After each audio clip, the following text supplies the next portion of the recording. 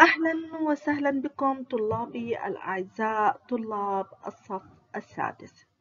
في هذا الفيديو يا عزيزي الطالب سنتطرق إلى موضوعات الأسبوع الثاني لمادة اللغة والأدب وهو بعنوان فن الكاريكاتير.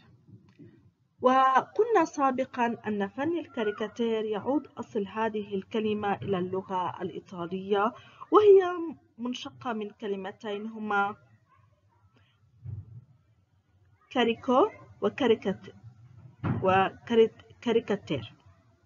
وتعني كل كلمة من الكلمتين التزويد والتضخيم.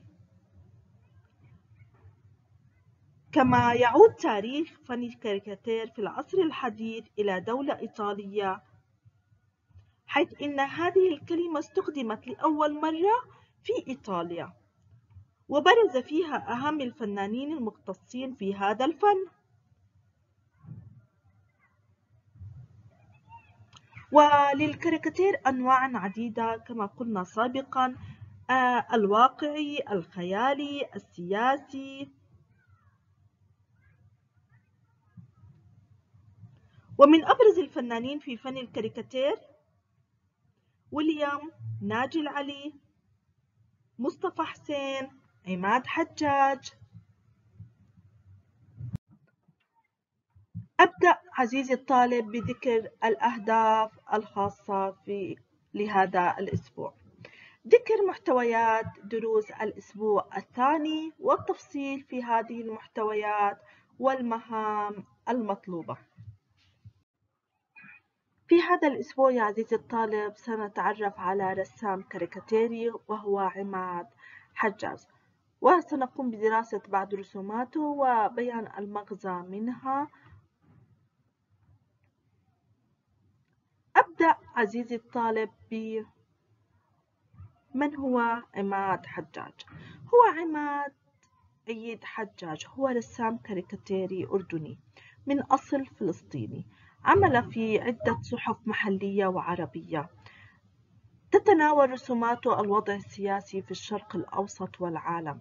بالإضافة إلى المواضيع السياسية والاقتصادية والاجتماعية التي تشغل المجتمع الأردني من خلال شخصية أبو محجوب الكرتونية.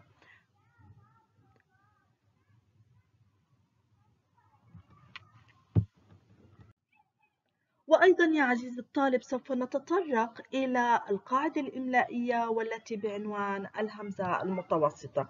سنتعرف على كتابة الهمزة وكيف تكتب الهمزة على ألف ومتى تكتب على ألف ومتى تكتب على واو ومتى تكتب على نبيرة. عزيزي الطالب لا تنسى أن للحركات قوة فأقوى الحركات هي الكسرة ثم الضمة ثم الفتحة وأضعف الحركات السكون.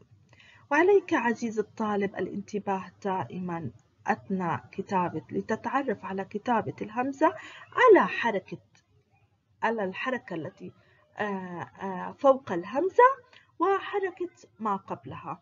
وأن تقارن من حيث القوة بين الحركتين وبناء على هذه المقارنة يتم تحديدها تحديد هل الهمزة كتبت على نبرة إذا كانت الكسرة أقوى هل الهمزة كتبت على واو؟ إذا كانت الضمة أقوى من الفتحة أو السكون أو كتبت على ألف؟ إذا كانت الحركة فتحة. وبعد ذلك يا عزيزي الطالب سنقوم بعمل نماذج وتصاميم كرتونية وبيان المغزى منها ومناقشة المجموعات الأخرى حول هذه الرسومات وطرح أسئلة مختلفة وعديدة عليها. إلى هنا عزيزي الطالب أكون قد انتهيت من موضوعات الأسبوع الثاني ولا تنسى يا عزيزي الطالب أن آه، في هذا الأسبوع ستقوم بإجراء اختبار تشخيصي يقيس مهاراتك في مادة اللغة العربية. فعليك عزيزي الطالب أن تتذكر القواعد والنصوص التي تم التطرق إليها سابقا ولتستطيع الإجابة عن هذا الاختبار. كما أننا سنقوم بإعطاء فقرة إملائية يمليها عليك المعلم فعليك عزيزي الطالب أن تتذكر القاعدة الإملائية الهمزة المتوسطة لتستطيع أن تكتب كتابة صحيحة. إلى هنا عزيزي الطالب أكون قد انتهيت. شاكرة لكم حسن استماعكم وإلى اللقاء أحبائي الطلبة.